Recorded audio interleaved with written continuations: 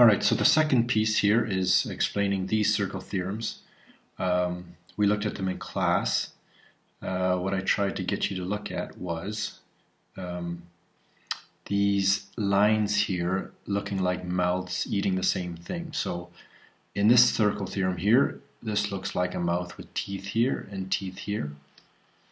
Uh, I'll make this a different color.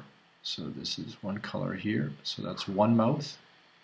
And in this theorem, uh, the second mouth is attached to the center of the circle. Okay, so that's this theorem.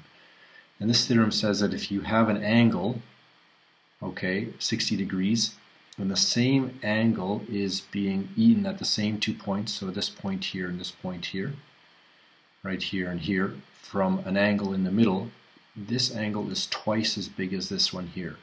Okay, so if this is x here, this angle is twice as big as that, 2x. Okay, so you have to know this theorem. The next theorem here is uh, similar, where you have two mouths. So I have the green mouth with teeth, and then I have the red mouth with teeth. Okay, except for instead of being anchored at the middle, into the middle of the circle, you have this anchored at this point here, this two these two lines anchored at this point here. And they each create an angle and as long as they're eating the same two points here so the green hits these two points and the red hits these two points these are the two same angles here 32 degrees and 32 degrees 32 degrees.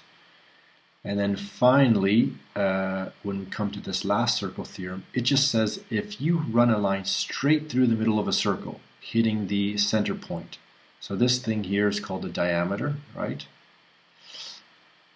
So the diameter.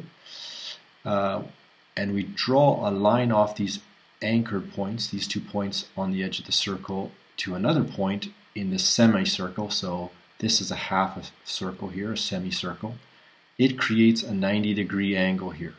Okay, so these three here we have. So double the angle here off the center same angle if you're eating the two points, and of course, finally, this one here where you create a 90 degree angle from the diameter.